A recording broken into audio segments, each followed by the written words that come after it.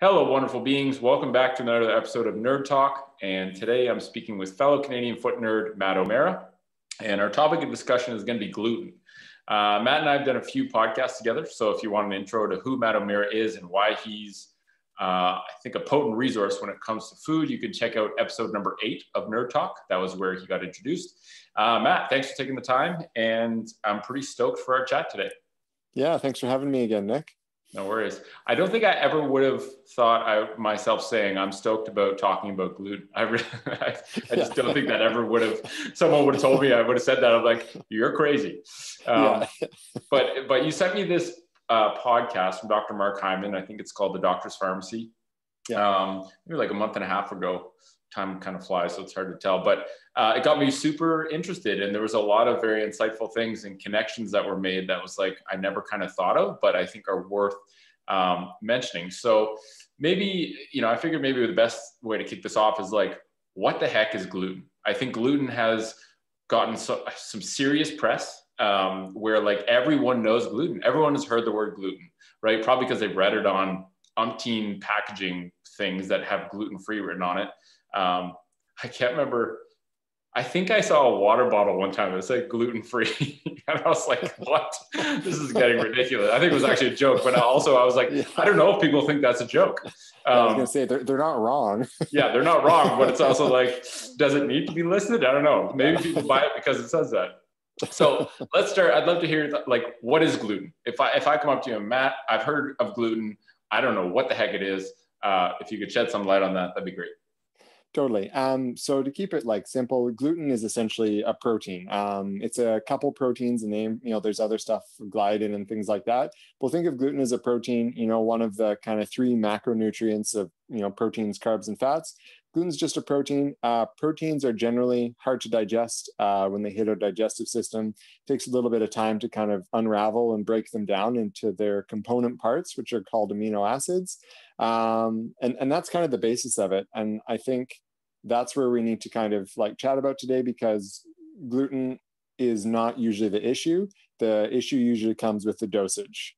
Um, gotcha because most people are totally fine at digesting proteins you know like we get proteins like a, uh, another great example is um, you know soy soy is a, as a difficult to digest protein and a lot of people that have troubles digesting soy um, again it comes more in the issue of it's the dosage they're having like too much of it or they need to work more in their digestive process to break it down. Cool. Yeah that's a great explanation. Thanks for that.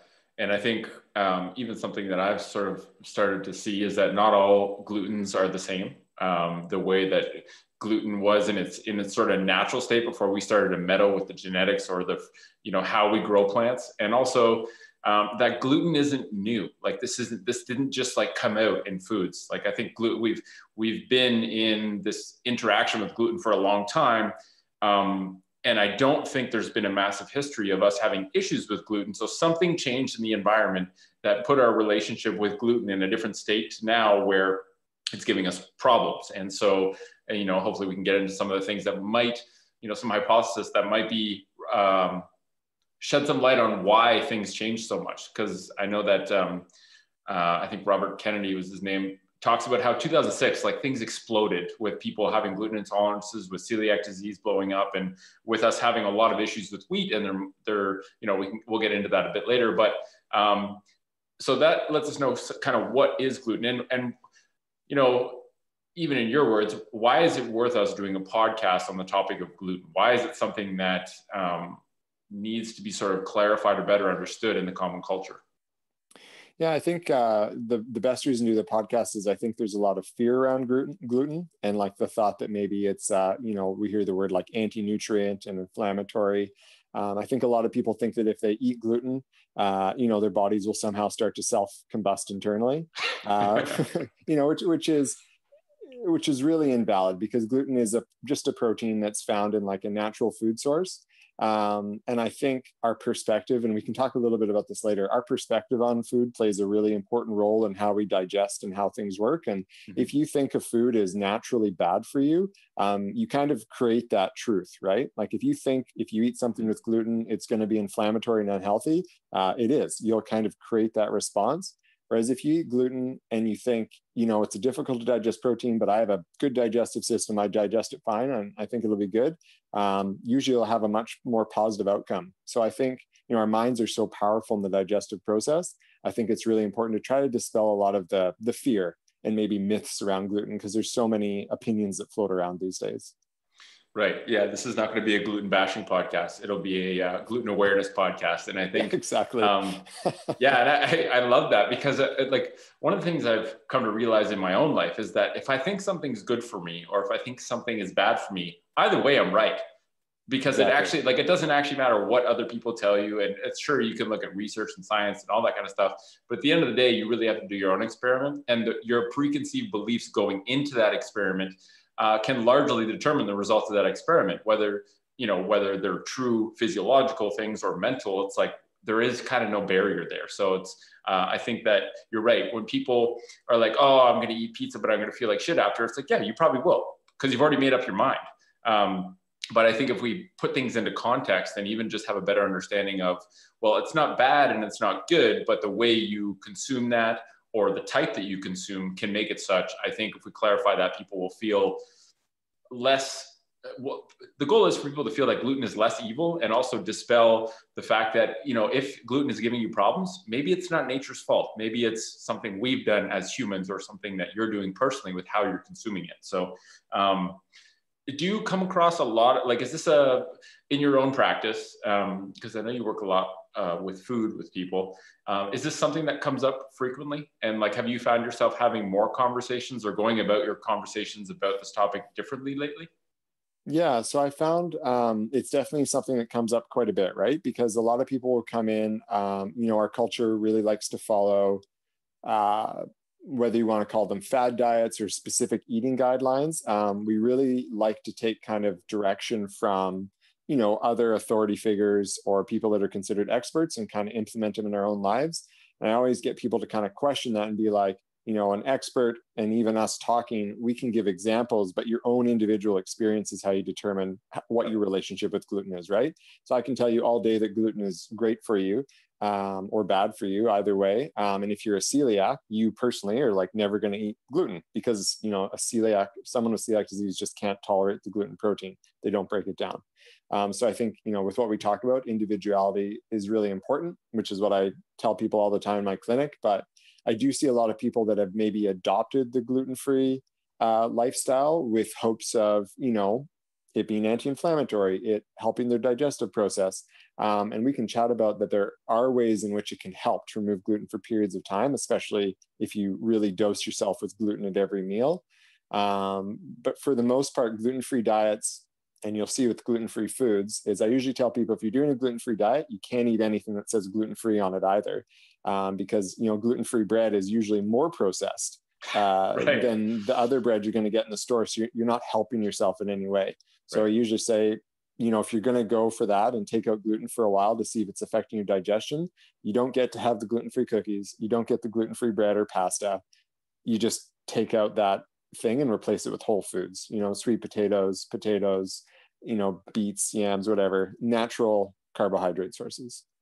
Yeah, that's a great point because I think, you know, once it's, food science is so damn hard to do because it's such a, such an individualistic thing in terms of like um, I remember I was listening to actually this was very recently a, a, podcast on the Feel Better Live More platform, and a guy was talking about food, and he was talking. This was a scientist that did a lot of work with twin studies, and what he found that like these identical twins are genetically identical, um, and even if they were raised in fair in in the same household, their microbiomes differ hugely.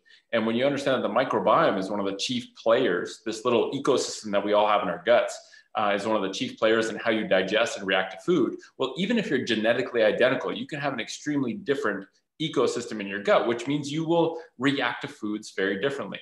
And so even if twins is hard to do, it's like you can tell that like a research study in, you know, even a well done, very, very fairly well done study it's really hard to extrapolate any of those results in a meaningful way because that's a tiny snapshot of a tiny group of people, of a tiny group of isolated variables. It's like, how informative is that study really? And the shitty part is, food companies will just jump on a study that confirms something that aligns with their marketing campaign for the next six months and then the world treats it as gospel. And it's like whoa whoa whoa let's take a step back. And like they took one piece of the puzzle they put some like fancy stuff on it and are trying to sell it to you as the miracle food. It's like i think we need to just question things a little bit and take that with a grain of salt.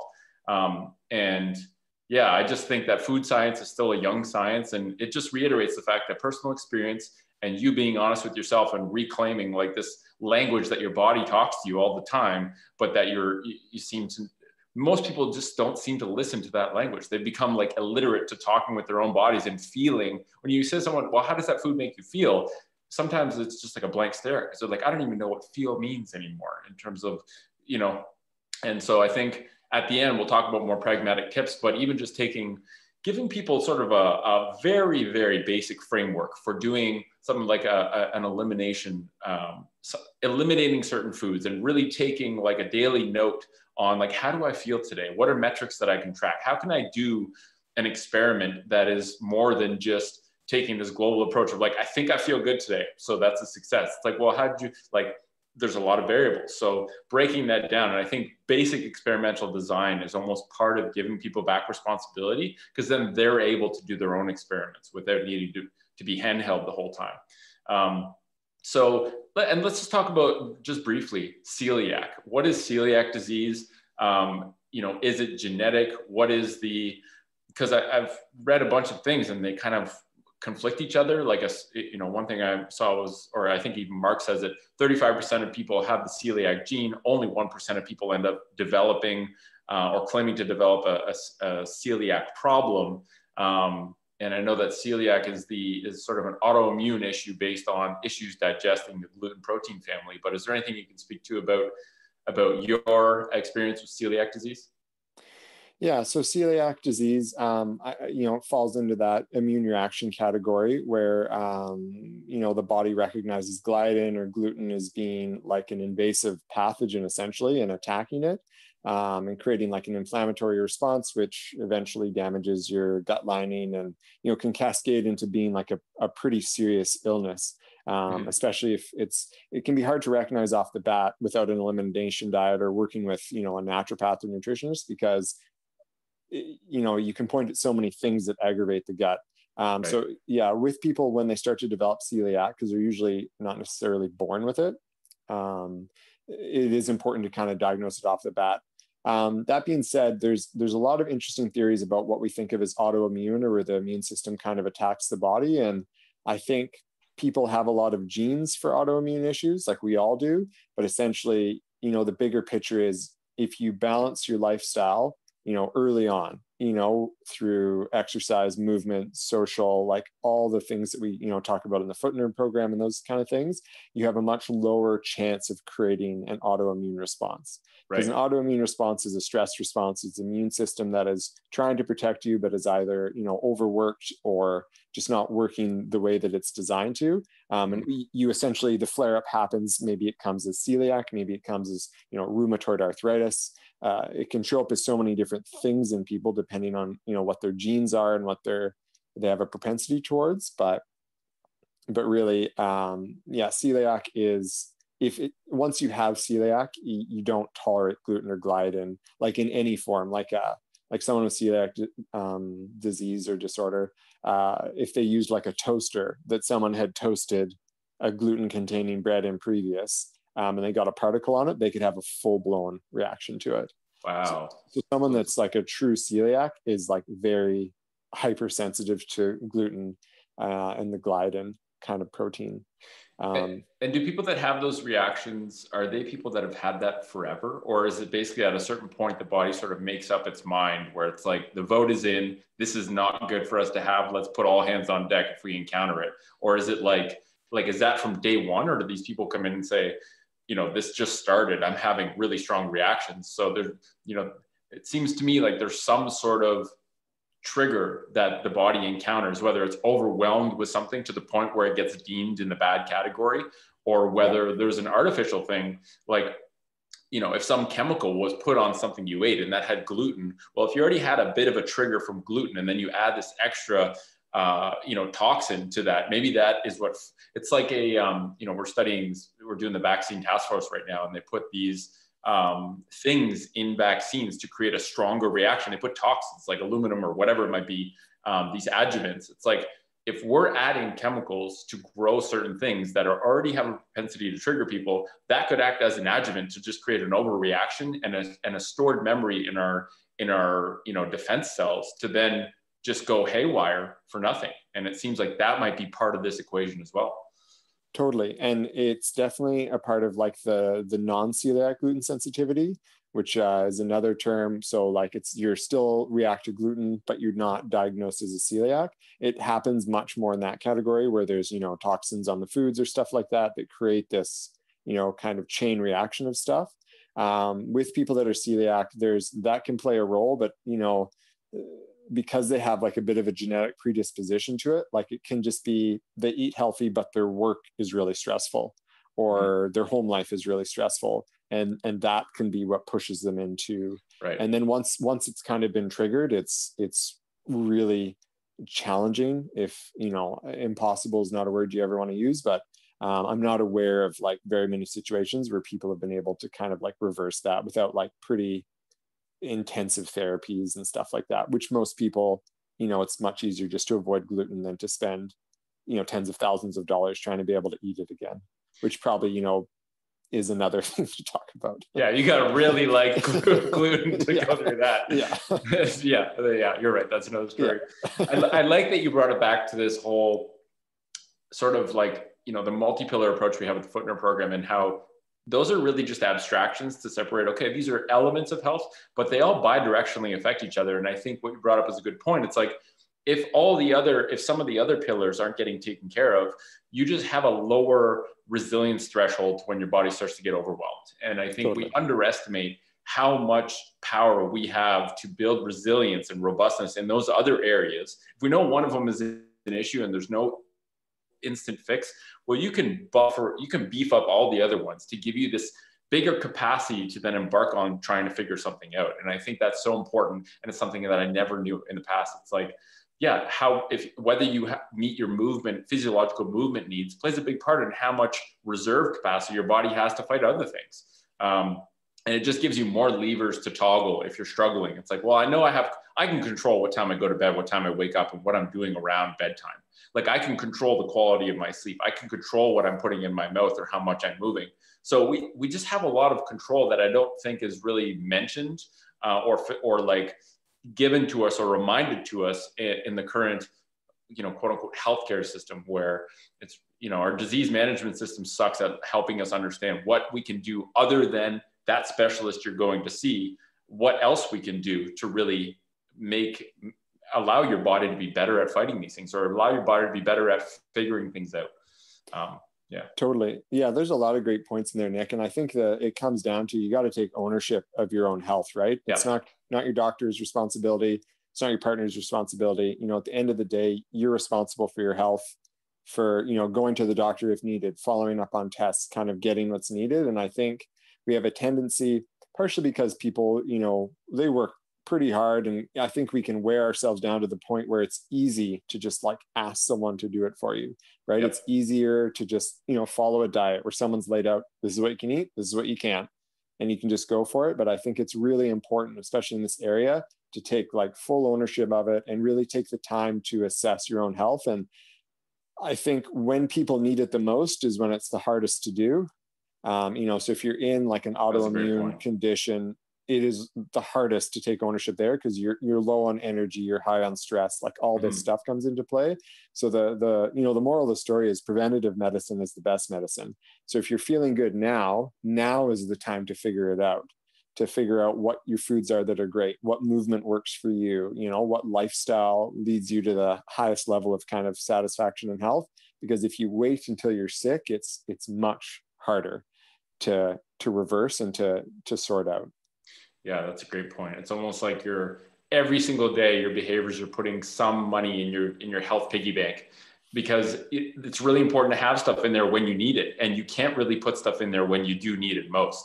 And I, and even what you said there like reinforces when it's hardest to do something to to improve your health at a time where you're having like maybe a health crisis like that's when the community element is so huge. To have a network of people who support you which is something you need to build into your lifestyle. It's not something you were you're just like, all right, let's go out and grab some people in my community that love me and will support me when I'm having trouble. It's like you have to cultivate that. You have to know that every single day as a human, you have to be working on these things to get paid the dividends down the road, which are often in the form of you never have these catastrophes, but also if you do have them, you're able to bounce back and be way more resilient if you've done the right things leading up to there. And I think we're so we're so instant gratification oriented. It's like I I need this, I want this when I need it. It's like, well, you have to work towards it so that a hopefully you never need it, but if you do, it's there. And I think we just have to we have to think big health instead of just like little health of like instantaneous problems versus like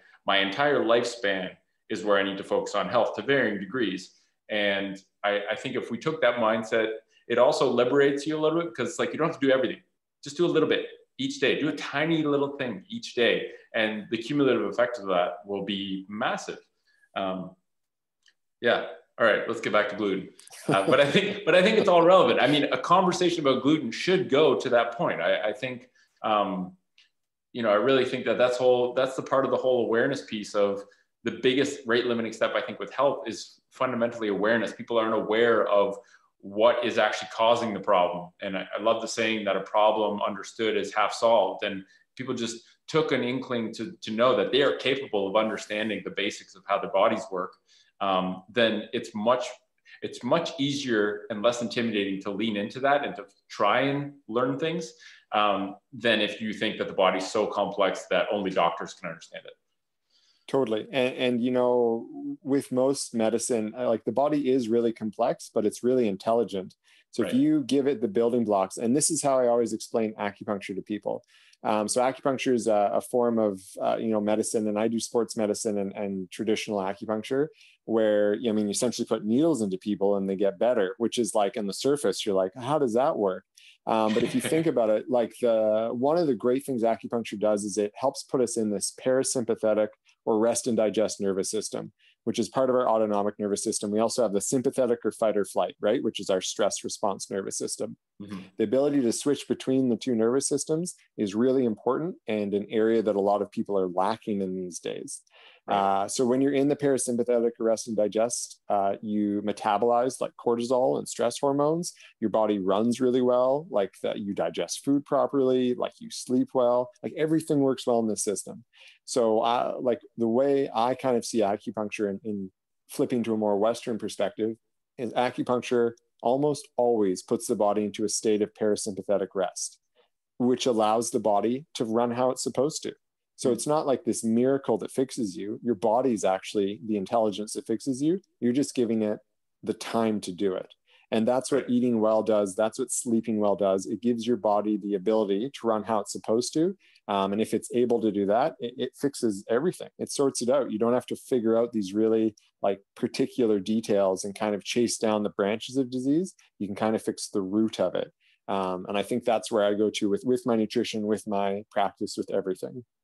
Yeah, that is great. And I think like right now I'm sort of ramping up the note taking on this whole health pro community for next year. And one of the manifesto elements is like understanding and unpacking that the body is a self-organizing, self-healing system. And if you can kill yourself by trying to understand how it does all the magic. But you can also just know that if I give it the right stuff, I can trust that it's going to know how to do its magic without me needing to understand every part. And I find we often focus on uh, outputs and trying to resolve output problems when really we need to focus on inputs. Like if I'm doing, if I'm giving my body the right things, um, I can trust that my biology's got this and I just have to focus on the inputs. And I think that's also a little bit liberating and allows you to relax into it a bit, or it's like, okay, my job is way easier than my body's. I know my body can do its job. I have to do my job though. And I don't even have to worry about what it's doing all the time. Um, and you know, even your when you mentioned the two different kind of sympathetic parasympathetic states, it kind of brought up this image of that I get sometimes where it's like someone eats a food and they feel fine. Um, you know, they're sitting at home, calm, they're with their family. Someone eats that exact same food in rush hour traffic when they're trying to talk on the phone in a meeting and someone's honking at them and they just got cut off. That food is being interpreted in a totally different way than the calm meal at home. So it, it just gets into like, there's so many layers of variables that you just have to know okay humans are not supposed to be cramming food in their mouths when they're in a high stress state. Like that's a basic fundamental heuristic. I don't think anyone would disagree with that. But that makes a big difference because so many people like it's crazy how many people i see eating food when i'm driving. And it's oh, like that it's so shocking it's like we've we've tried to cram so much stuff into our lives we don't even have time to sit down for five minutes and eat some food in a calm state we literally have to do it from as we're rushing from point a to point b and I think there's something there too with how your body reacts to food. Sometimes it's not what you're eating always, although that definitely has a probably a, a big um, a big bearing on it. But sometimes it's how you're eating, what state you're in when you're eating. Um, so like yeah, there's a there's a lot, but at the same time, it's like focus on inputs, know the basic heuristics, and you can do pretty good. Yeah, and I think that's really important. Like we just talked about, like ownership and stuff like that. Like you know if you're not dealing with all those stuff you know the the 90% of health then it's not it's challenging to go and ask for like a doctor's advice or a healthcare professional's advice because most of what they want you to do you know the healthy eating the movement and stuff is what you should do first. And if then if that doesn't fix it then that's when you should kind of seek you know like the medical attention. Because if you're not eating well therefore you're not sleeping well therefore you're not moving well this kind of thing that creates so many problems on its own. And it's impossible for like a healthcare practitioner to figure out if this is from you not moving well or if this is actually right. like a, a hormonal imbalance or something else going on. Because you're kind of not doing like your part in your health you're hoping that someone else can just give you you know the magic pill kind of thing that will fix everything. Whereas, like, you know, there's a lot of work that has to go in to kind of achieve optimal health. But if you do those baby steps every day, you'll just maintain it. If you don't do the baby steps for, you know, a couple decades, things definitely catch up with you. You know, it's uh, right. just a, definitely a good way to look at it. Yeah, and it's sometimes I think of a metaphor when people go in and see their doctor. It's like it's like you have a massive bundle of Christmas lights, and they're all tangled up. It's like before you go to an electrician and say, "Hey, hey, something's wrong with these lights. Um, can you find out which one is the one that's messed up? And you put a massive ball of tangled lights on their desk. They're going to be like, uh, can you untangle them first? It's like, we need to untangle our health shit before we go to the doctor. So that we can be like, well, this is what I found, you know, this is, and the doctor can be like, all right, well, I'll test these light bulbs because I'm really good at doing that. Uh, but you yeah. have to untangle it before you go. And I think we just haven't even been given a chance to untangle our own health mess uh, because we don't haven't been given the basic tools. And I think that this, you know, that's really what the whole mission at TFC is about. Is like people need to like, hello, people don't even know the basics. Let's just talk about that before we talk about all the crazy complex shit that science is doing. How about we just talk about doing the bare, bare basics that like a 10 year old should know intuitively and should be taught in school. We forget that we haven't learned that stuff, or the bulk of people haven't learned it. And if we had a tool that people could use that was free, that allowed them to uh, obtain those basics, the, the visits with healthcare practitioners are so much more meaningful and effective if those basics have already been internalized, understood, and even worked on so that some of the untangling was done. You know, it's better than no untangling. So I think, yeah, just basic fundamental knowledge on all five pillars of health, on just like 10 year old level stuff, um, that can do so much good. And the question is like, what's the most effective way to convey that to, to humans? And I think that, you know, like one of the next task forces is going to be to create we have so many teachers with the foot nerd program and that whole month schooling project was really cool and i think you know i was talking to ruth and we were like well, why don't we just create a, a really cool curriculum that's experiential it's not just like learning information it's actually like doing fun things um, that touches on all five pillars of health that provides basically a turnkey option for teachers and just open source it and then mm-hmm. provide letters like pdfs that parents can send their school board and say hey this is free this can be implemented by our school. This is why it's important. And I think there's like a guerrilla way to go grassroots and figure out like this can be done because then those kids can teach their parents. yeah, hundred percent. Yeah. yeah.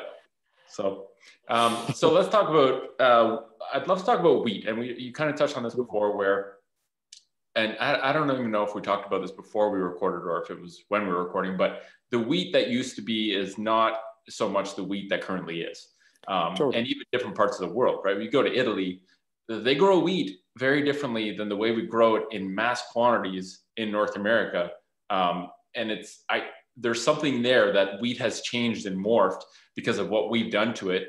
Um, so let's talk about that and how that might be sort of a contributor to the problems that we're having with gluten or the problems that we're having eating wheat now? Yeah. So, you know, one of the interesting things, the first thing we'll talk about is the way that we've actually like uh, bred our wheat over the last couple decades or more uh, to essentially be more productive, right? To have more of the actual wheat product that we take off of it. Because if you take, you know, a traditional uh, 150 years ago, like a stalk of wheat growing, it's a long piece of grass. And on the end, you know, there's that little piece of wheat. And that's the valuable part that we take from it. Um, you know, in North America here, for sure, we're all about we're all about quantity over quality. Like yeah. we want the most bang for our buck. the uh, most for the cheapest. We, totally. So we, you know, we took wheat and through, you know, genetic modification and through just like taking different wheat strains and putting them together so they breed together, which is kind of another form of genetic modification. Uh, we slowly created wheat that is kind of like pretty robust and you get like a big, massive chunk of wheat per stalk. So like your your quantity output is is huge. It's greatly varied, uh, or sorry, if it greatly increased. And we did the same thing with corn, right? Like when you think of corn, there's like I think there's thousands of varieties of corns, different colors, different nutrient densities, and we're like, no, we want giant yellow ears of corn. Like we want only optimize for one variable. It's yeah. such a dumb way of doing it's, it. It's it's crazy, right? And then we breed out all the other ones, right. and it's just like wild. So we've done it with lots of things, but we'll use wheat as the example. So this really dense uh, wheat that we get in like high quantity now, uh, it's a lot higher in gluten than it used to be, like like substantially higher. So therein itself is an increase in gluten, and you know the more you increase the protein, the more people have difficulty digesting it because you have more proteins to break down. So you need to have a stronger digestive system. So there's there's the first part is there's literally just more gluten in most of the wheat we buy nowadays. Yep. Um, the second part is we we really moved away from, you know, what can be thought of as the proper or the you know the more ancient way of preparing things. And wheat used to be prepared. It used to be three ingredients. It used to be flour, water, and time. You would put the flour, water, and that together, have your sourdough, and it would ferment. You know, over a period of time the fermentation process breaks down gluten for us. It mm-hmm. literally mm. breaks the protein down so it becomes more bioavailable, which means it's just easier for us to digest.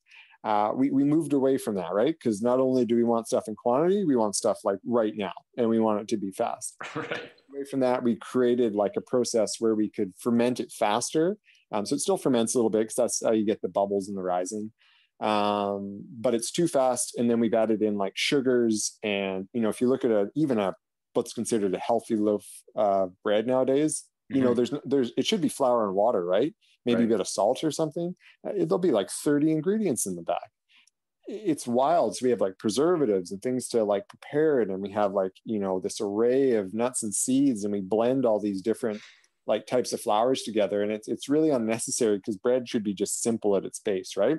well flour and, water and time yeah and like in the seminar i used to start off the food section by basically explaining loaf of fresh sourdough the ingredients and then uh, a loaf of wonder bread and in wonder bread there's something like i think there's like 42 ingredients within those there's three different forms of sugar um, there's also many ingredients that you can't even pronounce that I, I, think deserve a place in a chemistry lab, not in your stomach. And so you're right. Like we make food radically differently to try and have it last longer, to do it in big quantities.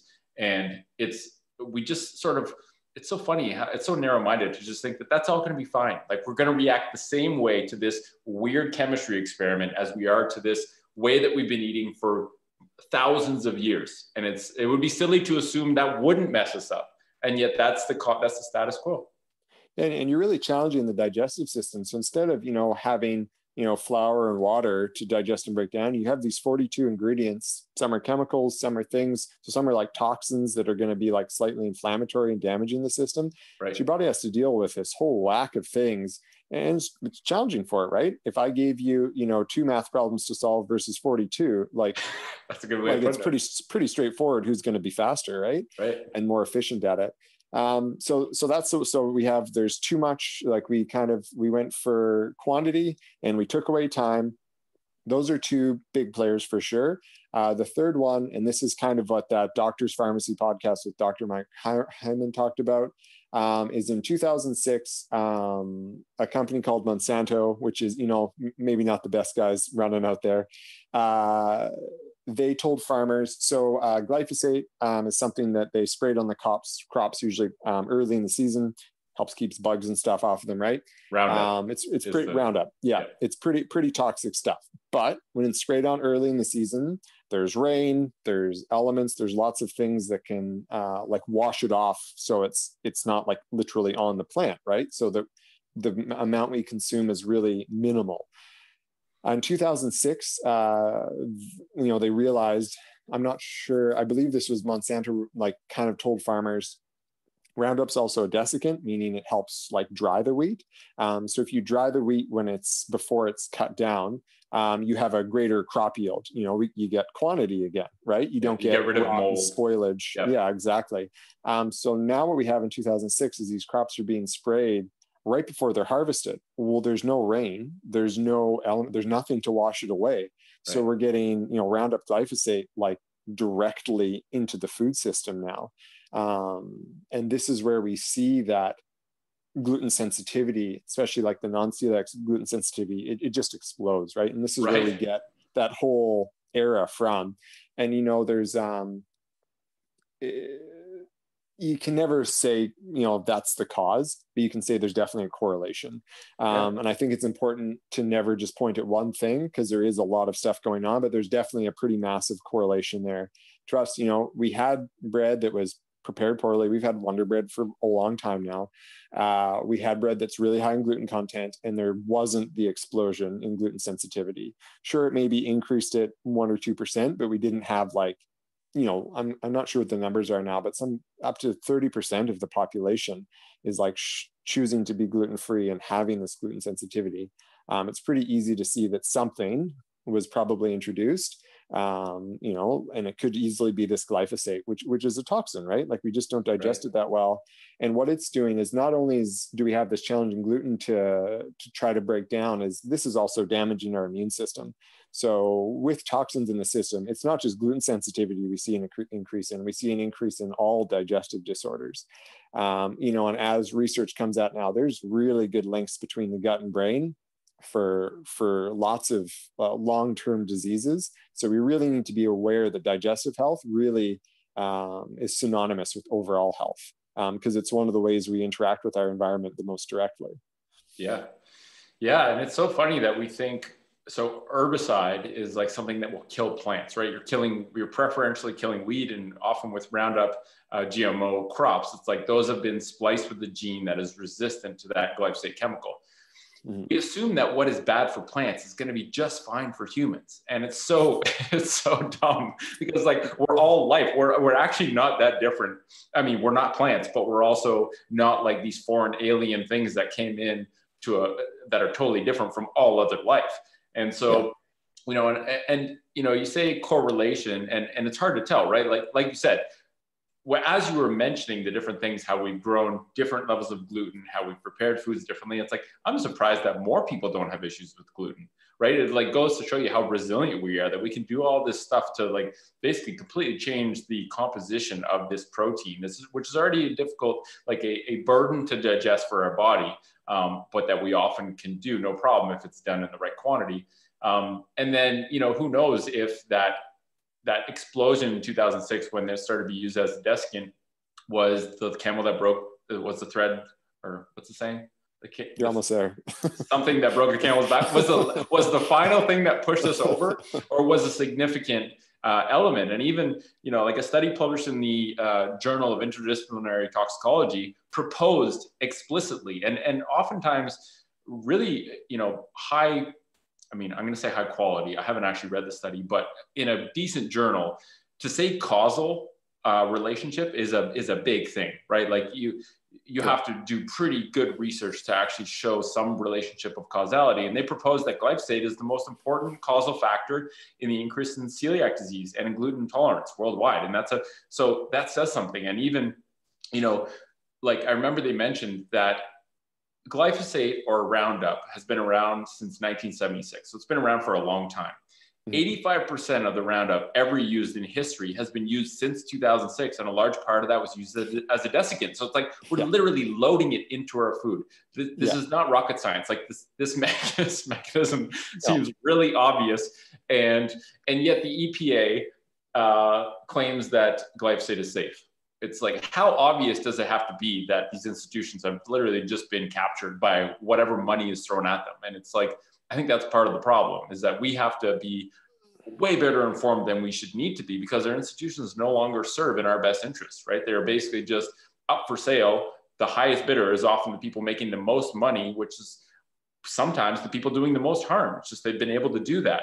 Um, so yeah I, I just I think it's, it's, crazy. Yeah. It's so crazy. And when you and yeah. and like even the graph that shows gluten intolerance and celiac like just shooting up at the exact time that they started using that is like maybe there's something there.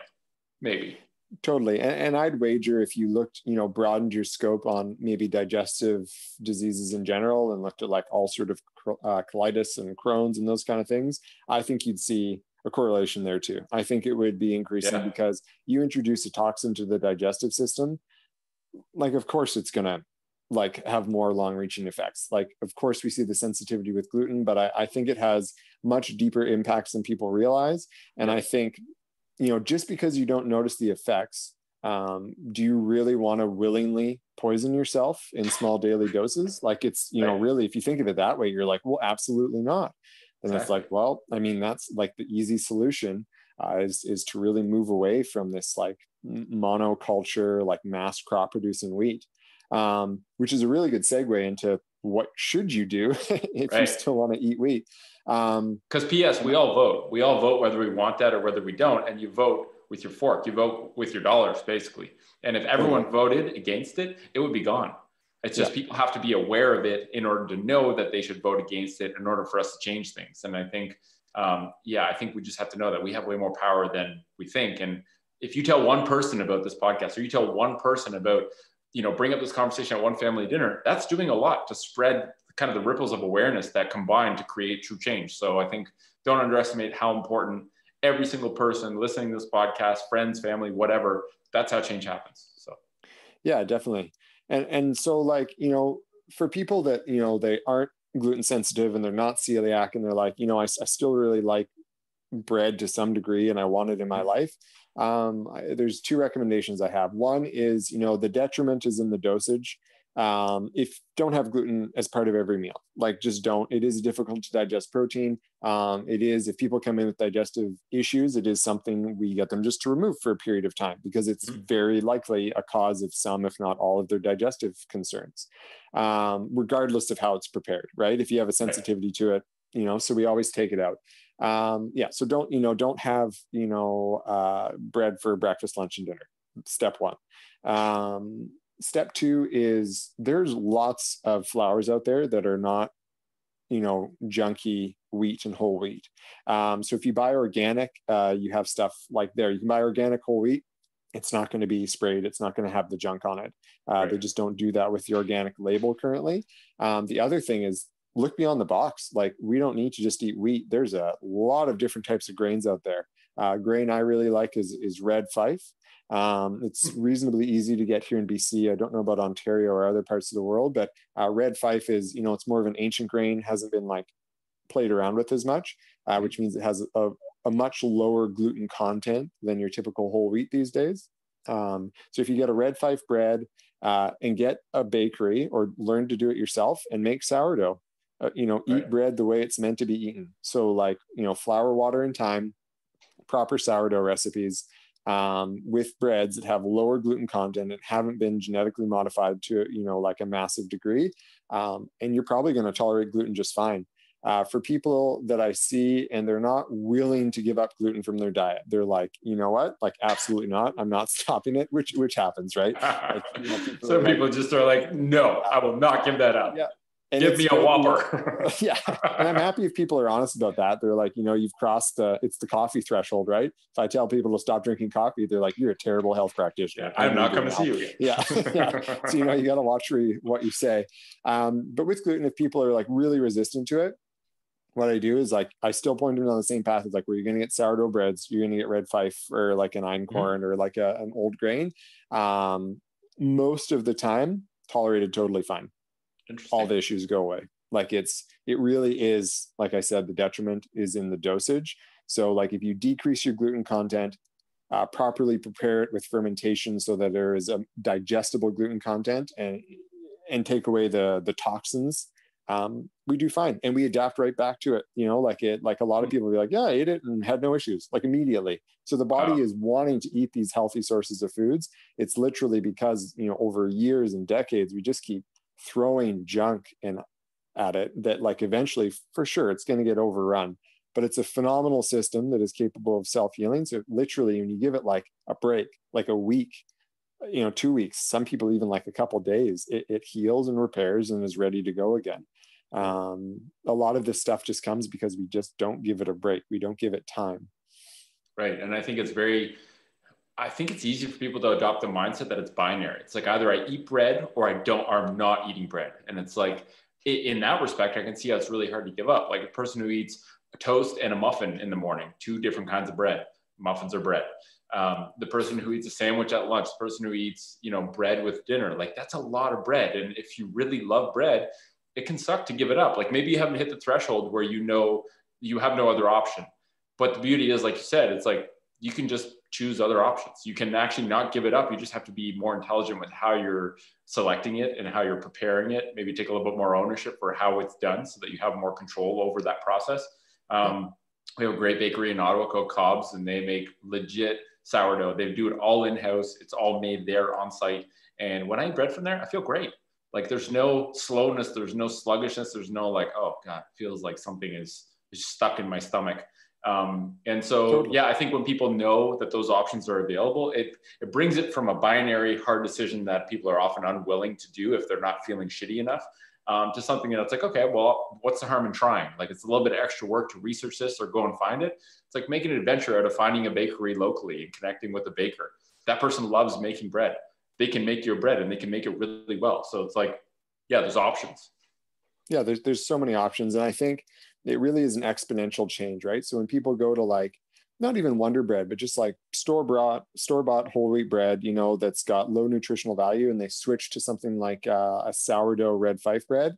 Uh, what they get is for sure it's easily digestible and it's better for you. You also get bread that's been grown organically probably in better soil. It's going to have a lot more micronutrients in it. It's going to have more fiber in it, which is really important as well. It's going to have all these different components. So it's not just like one flip. It's like it's like you know a negative two to like a plus thirty. you know, it's like a, it's a it's a really big shift. It's not like you're just yeah. going from negative two to positive two. You're right. making like a really positive shift. Um, and, and i think it's really important for people to realize that like when you eat healthier food like it, it really is exponential if you're eating like in the lower end of things you know and, and it doesn't even need to be a big cost difference. Like mm-hmm. it, if you do your research and figure it out uh, a lot of these bakeries um, we have a local bakery called true grain and another one called honey grove. Uh, there is a cobb's close to us too. Uh, you know they freeze their bread at the end of the day and you can buy frozen bread from them you know, because they don't want it to go bad. And you just go ask me like, look, I don't want the fresh bread. I want the frozen bread. Well, the nutritional value and everything's still there. Yes, it's not out of the oven fresh, but like financially, if that's a better way for you to get your food, yep. like, you know, options do exist. Amazing. Yeah. And I think, yeah, it's really just people just think decisions are way harder than than than they actually are. But you just have to be willing to look into it, to investigate a little bit. And um, yeah, I think just taking away the even just a good exercise and self self awareness is like I, I eat bread with everything. Like people that are like, wow, I eat a lot of bread. That alone is a good realization. And you know, you say you talk about this frame shift of like going from negative two to plus 30. It's like, think of how big of a reserve you open up for your body to apply to other areas, to healing other areas, to giving you more energy. When you take away this massive burden that's just kind of been rumbling along, maybe you haven't been brought to the brink of like falling apart. But it's like that's a huge unburdening of your body, and it has this new unlocked capacity that was there all the time, but getting used up by something maybe you didn't even realize. And I hear from people all the time where they're like, "Yeah, once I realized gluten was the problem, and I and I solved that problem, everything else felt better." my brain worked better i could focus more i was literally happier like i've heard this from people and part of me is always like okay well if you think it if you think that's the case, then that is the case. But I also, when you look at it under the hood and you understand mechanistically, it's like, well, if your body's processing toxins all the time, it's a huge amount of its energy being spent on something you might not even be aware of. So I think there's something there as well, where it's like all of a sudden you might feel like you can work out more, you can feel like you can move way more. Or you're just better to be around. And it's something that can sometimes be not maybe directly noticeable, but if you're tuning into it, it, it can be something that you pick up and it's it's pretty profound. So yeah, definitely. And I, I fully agree with that, right? Like if you there's always more power that comes from removing toxins in whatever form they are than comes from adding beneficial stuff in. So if you're eating gluten and it's not working for you and everything else in your life is dialed in, but gluten is like not digested well, creates inflammation, you're going to have way more power and way more benefit to removing gluten from your life than to like adding in another meditation session, a workout, yes. like yeah. all this stuff. There, there's always more positive that comes from removing the stuff that's causing harm, because then at least you're at like a, uh, an even playing field for all the beneficial stuff to take in effect. You're not like battling this consistent negative input. Yep. Yeah, that's a great point. And another thing, um, I just kind of remember that Mark Hyman brought up in that podcast is that these thing these food pro these new food products that are coming out to solve problems so you know one problem is like okay the way we're harvesting and growing meat is a big problem uh, the way that some people solve that problem in their personal lives is like i'm not going to eat meat um, and so you have products like the impossible burger coming out that is a gmo soy-based product um, and Mark Hyman's like, yeah, that burger has a hundred times the amount of glyphosate needed to destroy mammals' uh, gut lining. And it's like, we don't talk about that. We talk about how it's great that we're not eating meat, but it's also, I think we have to just be inherently skeptical of food products that are unnatural, that have been totally. created in a lab and are, are, you know, seemingly solving a problem that a lot of people have identified, which rightfully so. I completely agree that the way we harvest meat's a problem, but also eating some weird chemical thing uh, is probably not the solution. It's not the best solution. And I think you presented yeah. a really good case for the fact that there are solutions that exist that can be simple and achievable and not financially prohibitive, but you have to be aware of them, right? Like that red fife option, or just knowing that if you make your own bread and you're willing to invest the time and energy into create playing a bigger role in creating what you eat so that you have more control over the quality, um, that's not a huge burden, but it requires awareness that that is even on the table as an option. And I think people's menus that they feel they have to choose from to solve these problems are like minuscule or non existent Whereas if we help them expand the menu, we don't have to tell them what to do. It's just like, here's a menu of things that you can try. Just be willing to try. It's worth it. Totally. I mean, yeah, the thing is, like we talked about the individual thing, like you've got to sort it out for yourself. Like we can tell you all day gluten is good for you in the right dosage. Someone else can say gluten is the worst thing in the world. It, means nothing until you do the experimentation yourself and be like, oh, geez, I felt really good uh, you know, not eating gluten at all. Um, then when I added it in in small amounts, I still felt good. But man, that one week where I had a lot of bread and pasta just because of things went on, I really felt sluggish and low energy, and the brain fog came back again. Yeah. And then you have your own personal experience um, from what to go to. And then I usually, this is the other part, I usually tell people once you have that personal experience, uh, don't spread it as gospel. Uh, as yeah. that is that is what the because that is your experience, and yeah. someone else might do the exact same thing as you and not notice any change.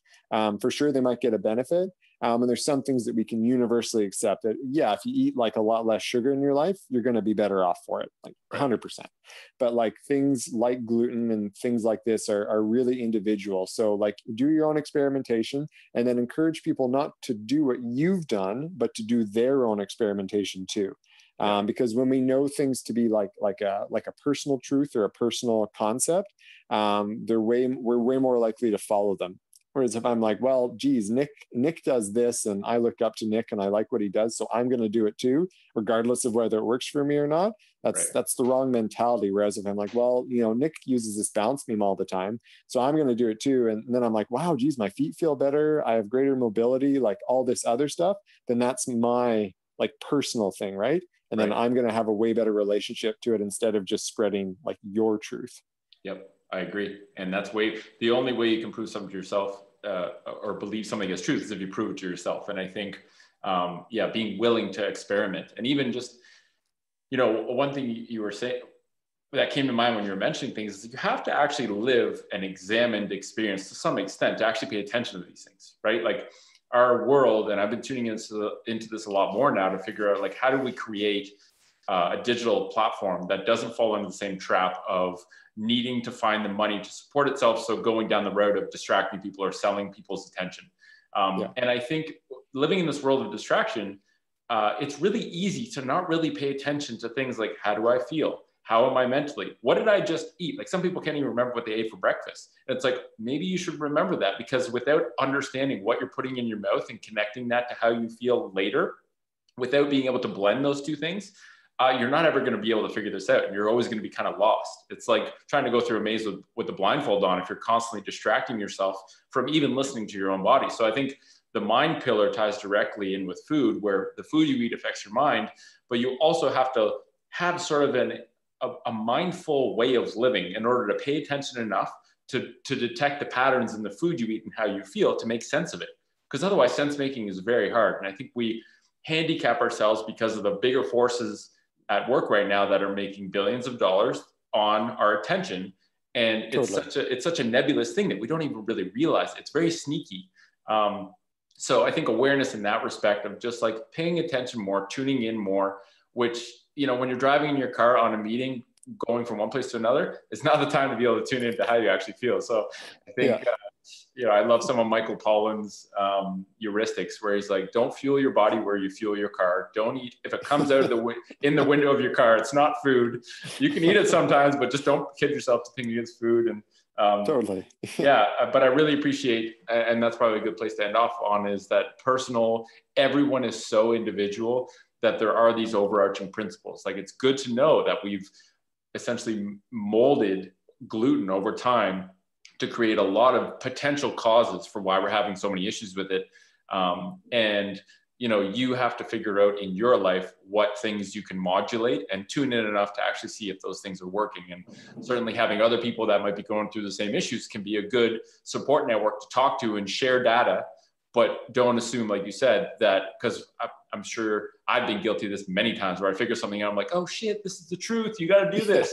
and I think totally. for some things, yeah. for feet that worked um, in terms of footwear, but but I don't I don't think for food it doesn't work as well. And in fact, the more you try and tell people what to do, the bigger barriers come up. Where it's like stop stop hounding me. And so uh, lead with your own behavior, and then just share if people ask. And and you've I remember you talked about that on one of our podcasts. It's like you don't tell people what to eat, but if they inquire, you can sort of give them some. Don't give them the truth give them some tools to discover the truth and that's that's the powerful part I think. Yeah, and I think that's again the empowerment, right? Like give people the tools to make their own decisions. It's the it's the old metaphor saying, you know, if you if you give a person a fish, they've got food for a day, and if you teach a person to fish, they're good for life. It, that yep. saying applies to so many things, right? If yep. you tell people this is what you eat to be healthy, they're good for a bit, but if you show people this is what healthy feels like, find it on your own way, way more, way better results and way more empowering. Mm, that's great. Ooh, that, I really like, I got to listen to this again and listen to that again. Um, Matt, thank you so much for your time. It's always a treat talking to you because I, Thanks, I, just, I love curiously asking people questions and knowing that like we share such a similar mindset in how we discover truth and how we sort of articulate this stuff to people where it's not coming from a place of I know, so you need to listen to me. It's like this is what I found so far, and also this is some really interesting stuff that I didn't know. Like when I was researching gluten, even just like I I don't I didn't actually know that gluten was a set of proteins shared by the like a certain family of foods. I didn't know that. I, yeah. And it was, I was like, how did I not know this yeah. yet? And it's not um, scary, right? If you're like, no. gluten's a protein, people are like, oh, I know what a protein is. Well, right, now, right. therefore, gluten's not this scary, you know, because people are like, what is gluten? Is it a spray that's in bread? Is it, is it, what is it, right? it's just a yeah. protein. It's just like, for some reason, a protein that's been just taken and like vilified. That poor thing's on a stake. right. And I, and I love that you, you didn't dive into like the crazy stuff, but you said like a protein is a string of amino acids. It takes energy to break that down. Therefore, the more of this protein we have, the bigger burden we have to digest it. And you can overburden your system if you're having too much. When you said that, I was like, yeah, yep, it just makes, makes sense, sense, right? Yeah. yeah. And the simplest way, you know, just to end there, like I think it's always important to remember like corporations are there to make money first they're not there to make you feel nutritious, you know, like nutritionally aligned. They're not there to make, you know, even with shoes and stuff like that. It applies to so many things. Corporations are there to make a profit. Like end of story. You, you have to know that going into it, uh, and if you know that, you can make educated decisions on the products you're buying. Right? But i think it's really important to always like come from that concept that like if a corporation has cooked for you or if a corporation for the most part has made your shoes for you or done all this stuff it's been done for profit. So you have to examine if it's a good product for you and for the environment and for whatever other kind of guidelines you want to follow because uh, they, they haven't done it for right. those purposes unless yep. they think it's going to sell more product. I completely agree. And I think with food, and I've started to do this a lot more recently, is like build some relationships with other humans who find purpose in preparing food or in harvesting food. Like when I go to a farmer's market, I like, I love just talking to farmers and asking them questions. How do you grow this? How long have you been doing this for? Like, what, why do you do this? Why do you, farming's a hard ass job. Like, what makes you want to continue doing that? So I might even have a couple farmers I've met on the podcast just to pick their brain because I think it's such a undervalued part of society and such an important part. And even like having a conversation with people at the bakery, it's like it's really cool connecting with people, even if you're I mean you're not telling each other about your family history, but it's like, how's your day? You know what? like why do you what's what in the world of bread is interesting you right now and it's like it's so funny some of the answers you get so anyway we hope that that was insightful and helpful um, go get your gluten free water, and we'll catch you next time. Thanks, Matt. Thanks, Nick.